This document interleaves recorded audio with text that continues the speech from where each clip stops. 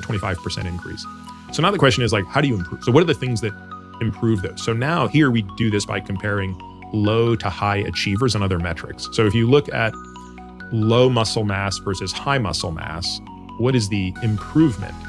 And it's pretty significant. It's about 3x. So if you compare low muscle mass people to high muscle mass people as they age, the low muscle mass people have about a 3x hazard ratio or 200% increase in all cause mortality. Now, if you look at the data more carefully, you realize that it's probably less the muscle mass fully doing that, and it's more the high association with strength.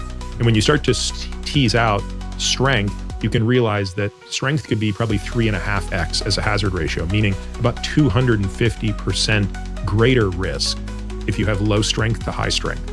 High strength is the ability to move loads at 80 to 90 so it's all of defined, one repetition. It's, it's all defined by given studies. So some the most common things that are used are actually, you know, they're used for the purposes of experiments that make it easy to do. And I don't even think they're the best metrics. So they're usually using like grip strength, um, leg extensions, and like wall sits, squats, things like that. Okay. So how long can you sit in a squatted position at 90 degrees without support would be a great demonstration of quad strength. A leg extension, um, you know, how much weight can you hold for how long relative to body weight, things like that.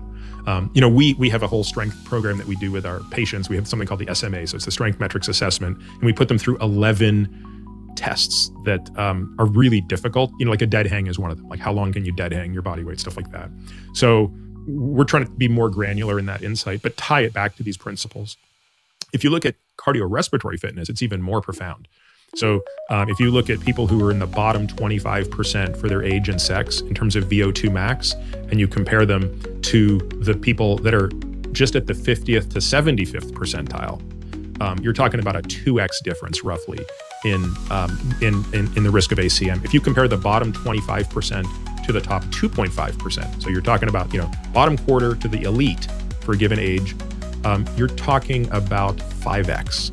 Wow. 400% difference in all cause mortality. That's probably the single strongest association I've seen for any modifiable behavior.